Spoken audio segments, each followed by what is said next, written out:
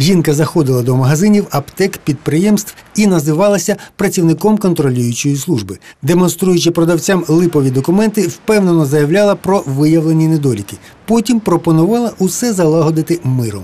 Сложно сказать, э, были ли методы гипноза с ее стороны, однако то, как она действовала нагло, с напористостью, м, уверенно держалась, э, называла фамилии владельцев. То есть она перед тем, как заходить в ту или иное э, э, предприятие, либо организацию, узнавала, кто владелец. На данный момент ущерб, причиненный действиями преступницы, составляет по всем эпизодам, по которым ей оглашена подозра, порядка 100 тысяч гривен. Жінка робила вигляд, що домовляється телефоном з власником підприємства. Потім писала цифру на папері і подавала збентеженому продавцю.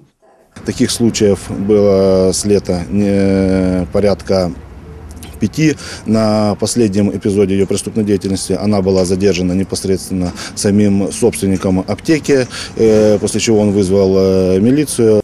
Власник аптеки, занепокоєний дивним дзвінком, терміново приїхав на місце. Там і застав невідому з кругленькою сумою готівки в кишені. Згодом з'ясувалося, це не перший її куш. Я пізнаю цю жінку, вона мошенническим путем вимагала в мене, вимагала в мене гроші, забрала їх. Проти жінки розпочато кримінальне провадження одразу за трьома статтями: шахрайство, крадіжка, підроблення документів. Їй загрожує до восьми років позбавлення волі. Міліція звертається до сумчан. Якщо ви постраждали від незаконних дій цієї жінки, телефонуйте 102. За матеріалами сектору зв'язків з громадськістю ОМВС України у Сумській області АТВ.